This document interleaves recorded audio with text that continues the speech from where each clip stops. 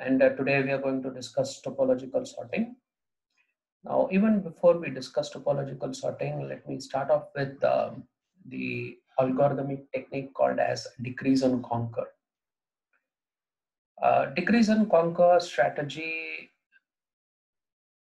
basically reduces the problem instance to smaller instance of the same problem. Uh, these smaller problem instances are solved. And then the solutions of these smaller instances are extended to get the get the solutions to the original problem. We can actually apply two different strategies in getting the solutions. Top down or bottom up approaches can be used Sometimes it is also called as inductive or incremental approach.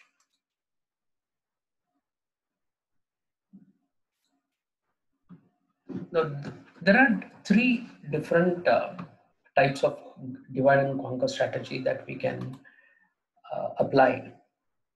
The first one being the decrease by a constant. Usually um, it is decreased by one the algorithms that fall under this category or that you can actually apply um, decrease by constant um, would be inserting sort, insertion sort, graph traversal algorithms like BFS and DFS, topological sorting, which we are going to see now, uh, and algorithms for generating permutation and subsets. The second type is decreased by constant factor where you're going to reduce the problem by half every iteration and then try to solve it. Binary search was one such problem that we had come across. Um, the second type of a problem is exponentiation by squaring, which we'll be seeing in the next uh, slide. The third type would be variable size decrease. Uh, we had seen computing GCD of two numbers using Euclid's algorithm, where the number of iteration depends on the values that we give. And uh, nextly, the selection by partition problem. We have seen quicksort being partitioned based on the pivot elements. Merge sort being exactly divided into half, but then merge sort you can actually adapt a strategy where uh, the array can be divided with a different number of uh, elements while partitioning. So the size can vary.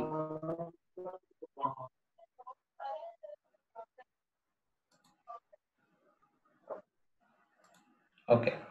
Now, what is the difference between these three? Let me just take up a simple example and show you the differences. Uh, here, I'm trying to compute uh, a to the power of n. The first method, the brute force method, when I apply, I can just multiply um, a into a n times so that I get a to the power of n. This is the simplest strategy. The next strategy here you can see I'm applying divide and conquer a to the power n by 2 into a to the power n by 2 if n is greater than 1. So this is how we can apply divide and conquer strategy to compute a to the power of n. Decrease by 1, a to the power of n can be represented as a to the power n minus 1 into a. Further, this a to the power of n minus 1 can be further reduced. It goes on like that.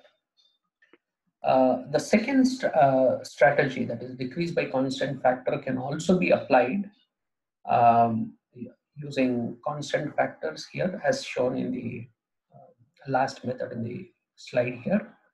So a to the power of n can be computed uh, as a to the power of n by 2 into 2 if n is even or positive. If it is odd, then uh, you'll make a slight change here, a to the power of n minus 1 by 2 into 2 into uh, a for the entire term if it is odd. Similarly, if n is equal to 1, you just return a. So these are the different ways in which you can actually compute a to the power of n when you apply the three different types of decrease and, decrease and conquer strategy. okay, so let's directly um, jump into the concept of uh, topological sorting. Now, topological sorting is a linear ordering of the vertices in such a way that if there is an edge in a DAG going from a vertex U to V, say 2 to 5, then U comes before V, that is 2 comes before 5 in an order. So this is the example graph that is given.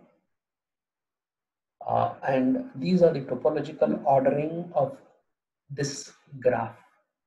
Of course, we will go through the algorithm and then I'll get back. I'll take up an example uh, graph and show you how topological ordering is done. So before understanding the algorithm, let's try and find out why topological ordering is so important. Where is it actually used? Um, let's take a scenario where you would like to travel from other country back to your native. Uh, to do that, first of all, you need a passport. And once you have a passport, you can buy a flight ticket along with the travel insurance. And once you have bought the ticket, then you can get the visa. After getting the visa, you can actually get the foreign exchange for your expenditure and other things. And finally, you can buy some gifts because you're visiting another country. So this has to be in a sequential order, right? And this is topologically ordered. Let me give you technical examples. Say uh, some of the applications where topological sort sorting is used is scheduling jobs for um, from the given dependencies among various jobs. So you schedule the uh, the jobs depending on when it has to be actually done. Similarly, instruction scheduling, you would have studied this in um, computer organizations. Say you're trying to parallelize the program. So after certain set of uh, after certain tasks are completed, you take up another set of tasks. So it has been scheduled. Determining the order of uh, compilation tasks to perform in makefile. So you need to go on compiling set of uh, files uh, to perform, uh, to, to create um, a complete compiled uh, a bundle of files. Okay, so what is the goal? The goal is to find a sequence in which a, which to complete the tasks respective respecting the constants constraints. so to do this, we need a directed acyclic graph. Uh, we'll see what is a directed acyclic graph in the next slide. For now, we need to understand that topological ordering of a DAG can be done using two strategies. The first one being the source removal method. The second one is the depth first search method. So we'll see these two methods individually, try to solve, um, try to find out topological ordering using these two methods. To understand this, we need to understand DAG, the importance of DAG, and at the same time, the in degree and out degree of various nodes in the DAG. On your screen, you can see a directed graph with uh, seven nodes in it. Now, right side of this graph, you can see the uh, three columns. The first one representing the vertices 0 to 6, 0 to 6 and in represents your in degree out represents your out degree. Now what is the in degree of 0 see node 0 in degree is 1 you can see here this is the edge that is connecting 0 and 2 so it is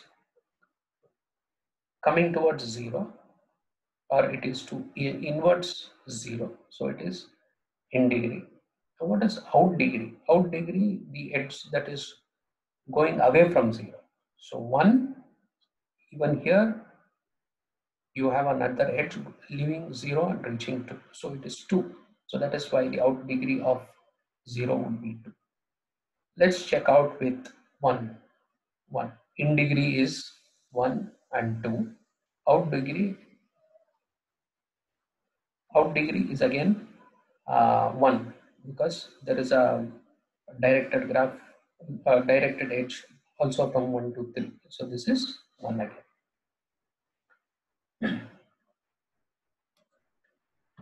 Okay, so what is a DAG? DAG is a directed acyclic graph, is a finite directed graph with no di directed cycles.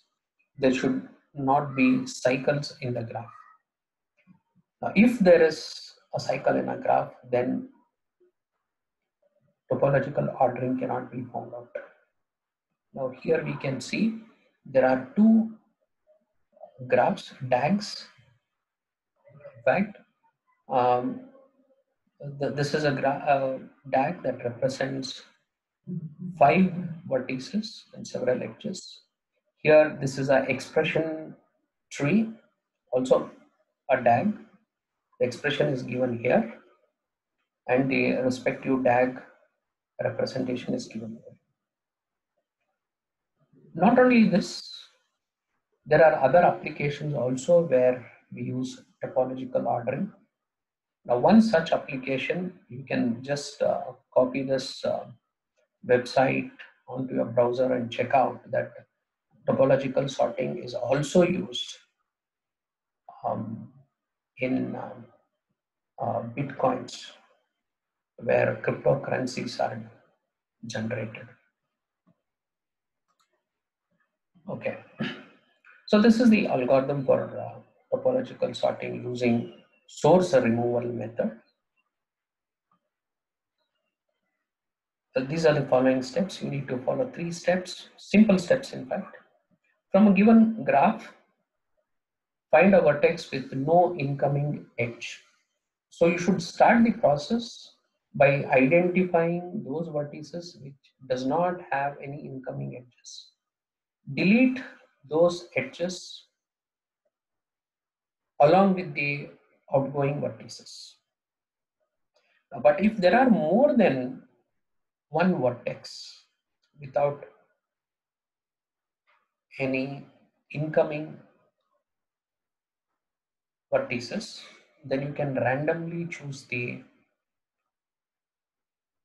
incoming edges. You can randomly choose the vertices to delete. Note that the vertices are to be deleted. All these recorded vertices give a topological sorted list. I'll show you how it is done. The time complexity of this algorithm is big O of B plus E, where B represents the vertices, E represents the edges. Okay, let's take, take up this first problem. So we have five vertices, seven edges. So let's start. Let's start um, the topological ordering. Now I will write down the in degree for each vertex. So what is the in degree for A? In degree is obviously 0. Whereas for B, you see in degree as 1 because there is a edge from A to B. So it is 1. Similarly, D it is 2. 1, 2. Out degree is 1. So we are not focusing on out degree now. We'll just write down the in degrees for all these vertices. Okay. So since A has zero in degree, so we will remove this A along with the edges corresponding to A, these three edges. A is removed and the edges emanating from A is also removed. Now again we will write down the in degree for the leftover DAG. So now we will find that the in degree for D is 0. So we will remove this. So we have removed D.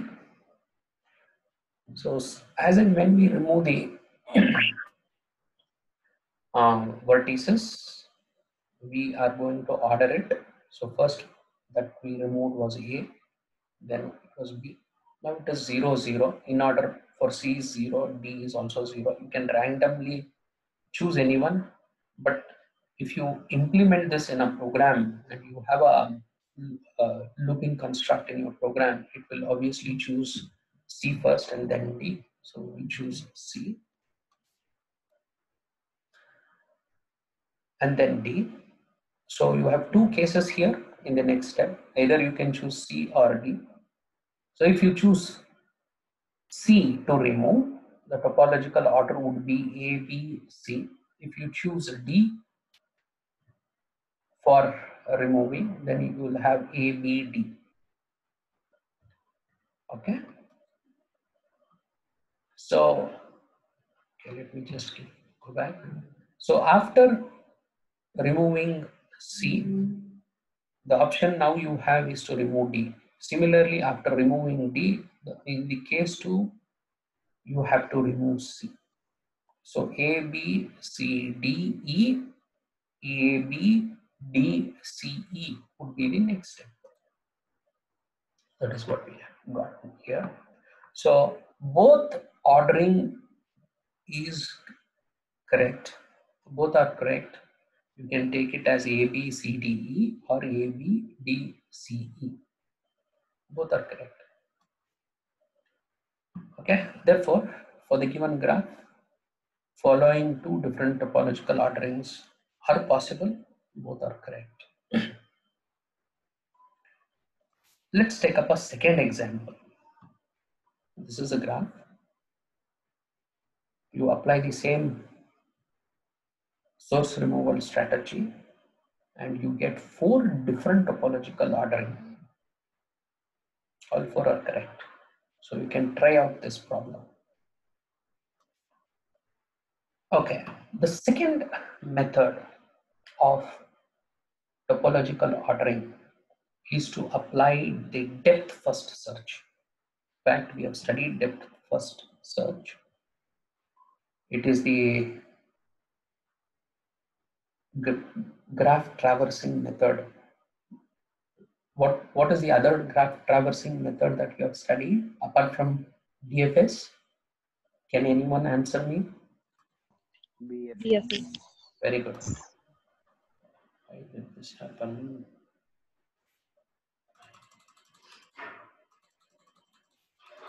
Let me just go back. Um, yeah, DFS, great.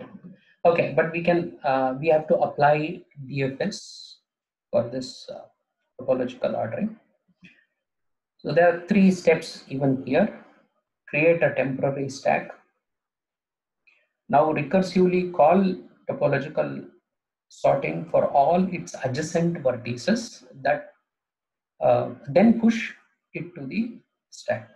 So one by one, you start from the first vertex, you go on pushing it onto the stack.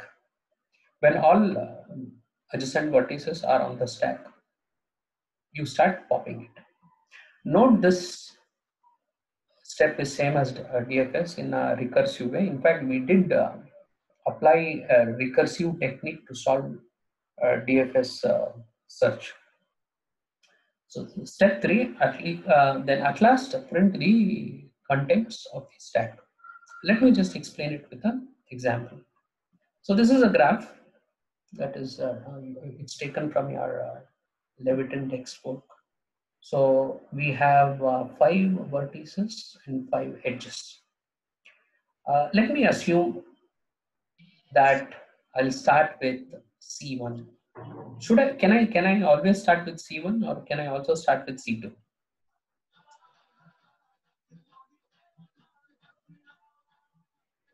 I can st start with either C1 or C2. Makes no difference. Uh, let me uh, let me assume that I'll start with C1. So you, here we can see this is the uh, stack content. I'll start with C1. I can also start with C2, so I've represented it as C2. We'll come back to this uh, subscript later. Now from C1, I will visit C, C3. So I'll push C3 onto the stack. After pushing C3, I have two options. Either I can move towards C4 or C5. I choose C4. Then the next leftover vertex is C5. So it is C5. Okay. So now I will start popping it. Popping in what order? 5, 4, 3, 1, and then 2. So you can see the popping of order. And this is the topological ordering. But here I've generalized it. What do you mean by generalizing it? Either I can start with C2 or C1, right? And then I'll move towards um, C3, right? C2 or C1. I'll move towards C3, then C4, then C5. Okay, so from C2 directly I can jump to C3 and from C3, C4, C5 or from C3 directly to C5. Similarly, I can start with C1, C3, directly go to C5 or from 3, 4 and 5. Okay. Uh, so this is, these are the different topological ordering for this graph. Okay.